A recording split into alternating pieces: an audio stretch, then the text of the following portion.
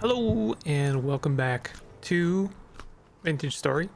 There's a lot of milestones today, a lot of really good stuff, a lot of fun stuff too, but we're gonna start with some of the more boring uh, checklist things. Um, starting with trying to get some more chickens. Um, I have, you might notice two different pens with chickens in it. One just has a male chicken and the other like a bunch of different ones. Um, I, I, don't think this is true in this game, but I, I'm keeping the males separate for, uh, I guess, realistic purposes because I don't want them to basically kill each other. I don't know if it's a thing that happens in this game, but it's a thing that apparently happens in real life. So I am trying to be cautious and I don't want, uh, you know, to lose one of my chickens. So anyway, I'm keeping them separate. If it turns out to be something that's not true, then I'll, uh, you know, group them together later. But I think for now, it's okay. So we got our uh, humongous temporal storm, um, you know, happening. I was a little bit worried. I'm, I'm looking through the window at uh, my animals there, worried that they, they might have a problem through the uh, the storm, but I don't know. I don't think that uh, the dwellers seem to want to attack or kill, uh, you know, animals. So I think they're okay decided to try and get some stuff done here. I wanted to make another lantern because I still have dwellers spawning in my base for some reason. I do, I swear to God, uh, that one of the last updates, or maybe the beta, um, has is a bit more aggressive with spawning creatures, but I don't know. Uh, so, you know, I wanted to make a lantern, but I kept getting harassed by dwellers, and I kept thinking, oh, well, that's that's it for now. And actually, no, not even close. In fact, I saw some of the worst creatures uh, during this temporal storm than I ever have before, and it became a real problem. This guy here crawling around. Watch what happens here. He actually kills me so hard that I get thrown up into the second floor. Like he he he kind of like Looney Tunes punched me through the the ceiling, which is it, it just incredible. In fact, he did it almost again right there. He, he just like hits like a Mack truck um, so that was really not a good time, and he was really difficult to kill as well. And these guys are just just a huge problem. Corrupt dwellers or, or drifters are no no joke either. That guy like punched me through the floorboards. Um, and this two-headed drifter here on the ground is, is still wandering around, uh, trying to trying to murder me. He's, oh, I guess that's a different, that's a corrupt drifter. But either way, these guys suck. I don't like them. Um, yeah, bad temporal storm. I don't know what the deal is. I'm gonna have to figure that out. Um, uh, uh, you know, on the list of things that I have to solve, problems I have to solve. But uh, in any case, the temporal storm is over, and the threat has passed. Right? Um, well, at least I can finish the lantern. Um, but uh, you know, you might have noticed I've opted for lanterns instead of torch holders.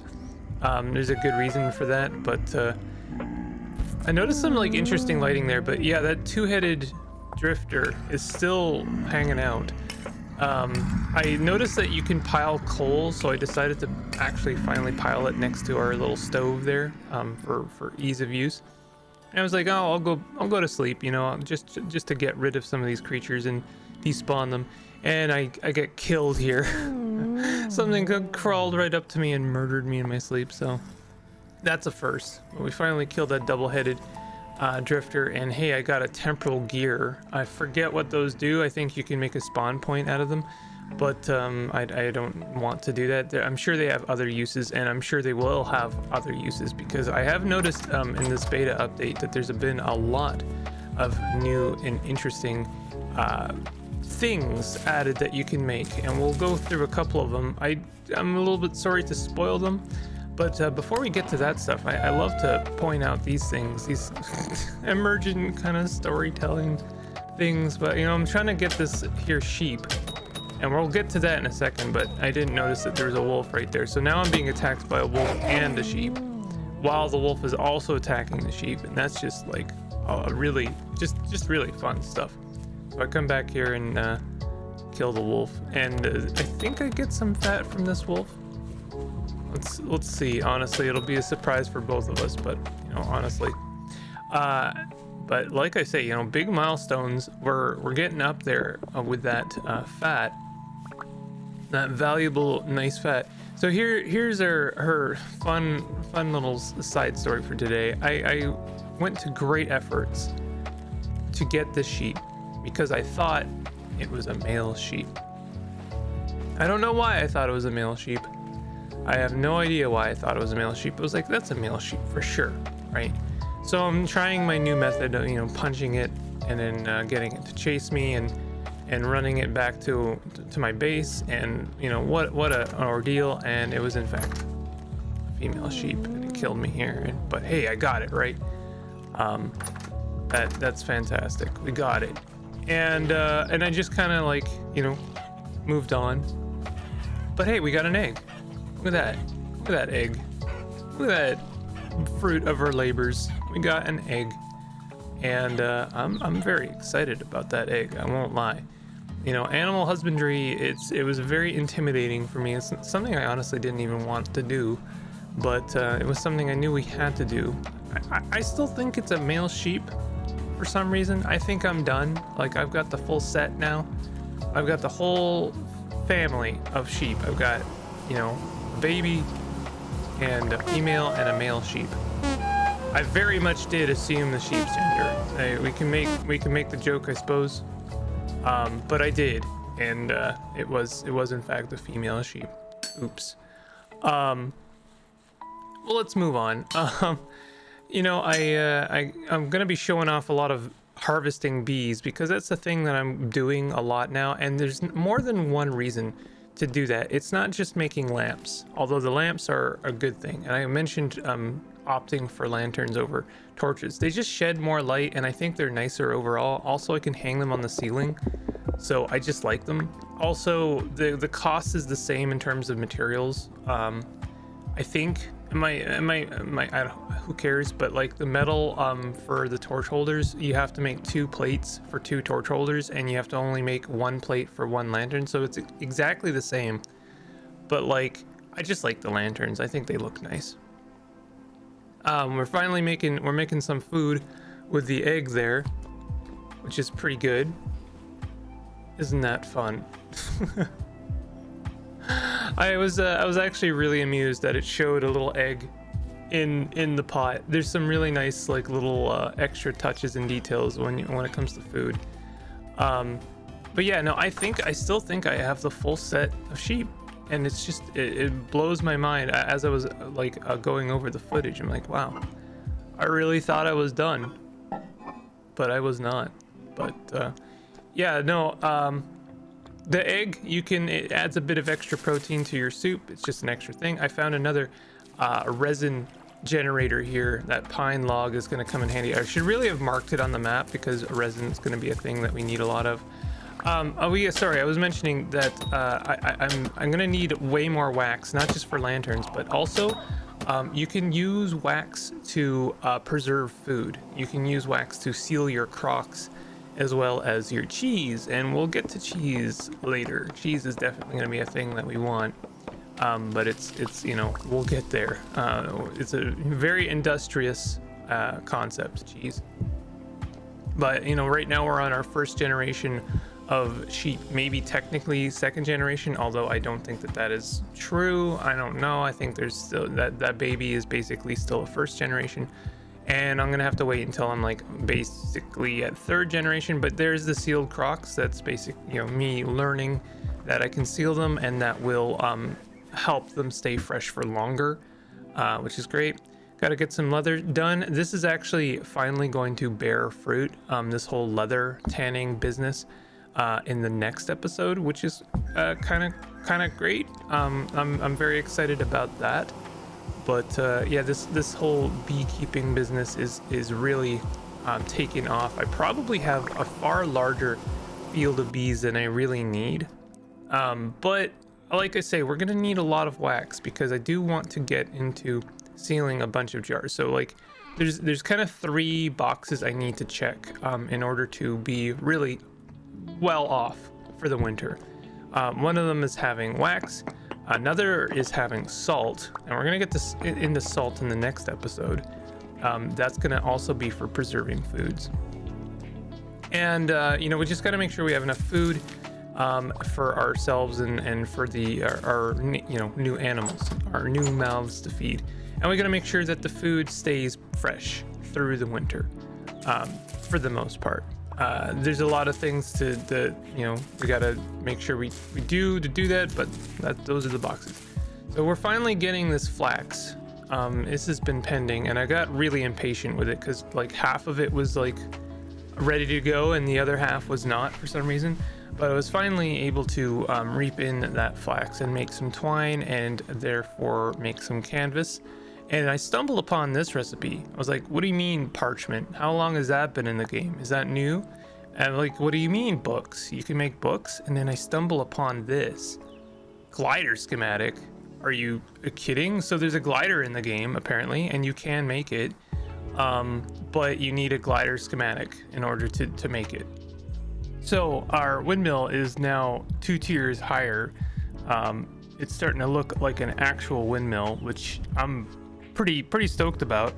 Um, and we get to throw some. We'll throw some flax grain at the sheep. They'll be happy about it. Still, still think uh, I've got uh, a male sheep. By the way, um, you know that's that's pretty good. Um, I'm feeding them, and and I I still think that one of them is male. Really good time, really good moment.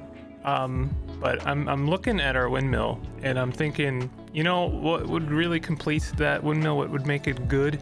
Would make it much better is if it functioned, uh, actually provided power towards something. So uh, I'm gonna make some angled, an angled gear to connect to the big wheel that I have in the very tippy top roof, and uh, and some axles. So uh, we're making some axles, and I have just just barely not enough here. But we're gonna I'm gonna talk a little bit about it because here's the thing. Like I know this is an extremely uh, material expensive or material costly uh, venture here because I've gone ahead and decided to make a you know very tall windmill and uh, try to you know bring that power down through our building. And I want to talk a little bit about why. Because I know a lot of people are gonna be like why why did you do this? This was way more expensive than you needed it to be. Um, you know even like bringing the power back is expensive. Never mind bringing it through two floors. So we bring we have power in the attic and we have power on the second floor and you'll see here, I just barely don't have enough axles to get to where I need it to be.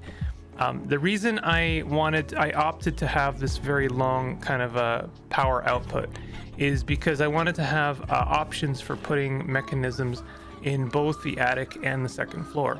Um, and you know for various reasons i like to keep my options open and i also think it just looks nice. So uh, it's kind of like the barn in the first place you know there's no reason to build a house that big but doing so you know leaves our gives us lots of room for growth and lots of options for um, e expansion. So he here's here's what a male sheep looks like. That's a that's what a male sheep lo looks like and it's right there and the animal pen is right there. And i'm like That's a sheep. Never mind. Not gonna get it. Not gonna not gonna go and grab the male sheep. Let's go do some other things first. Uh, I don't know what I'm doing here. Uh, we're gonna like, you know, kind of messing around with pots and organizing our eggs. And what is what are we doing? What is this? And we're gonna looking at the flax, I suppose, and literally looking at grass grow and I'm not grabbing the male sheep, which is now standing right in front of the, the pen. Just, no, no, gonna walk away. Let's go get some chickens instead. I want some uh, friends for the, the second pen. That sounds like a good idea. Oh, it needs, I need to move the trog. Okay, I'll move the trog. There it is. Uh, it's, it's standing in front of the pen and, and I'm finally seeing, wait a minute. That thing, that looks different from the other two sheep. Maybe maybe I ought to capitalize on the situation. Oh, wow. Wow.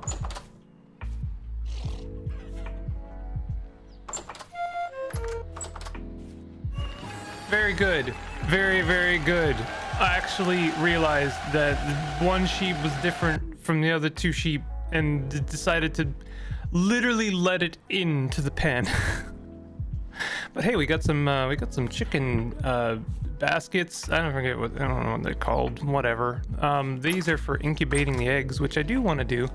Uh, I guess there's no reason to really get more chickens. Once you have at least two, um, then you should be able to get more. And I was actually standing in front of the pen there to mock the male sheep for reasons unknown. I, I'm not kidding. I was, you know, stand like, yeah, you got, uh, you know, you you got uh, captured, and then it killed me, and I deserve that 100%. I have absolutely no place mocking the animal for um, walking into the pen as if I did anything, and in fact, uh, you know, made many many moves to uh, work against that act of God. Um, but uh, hey, never mind.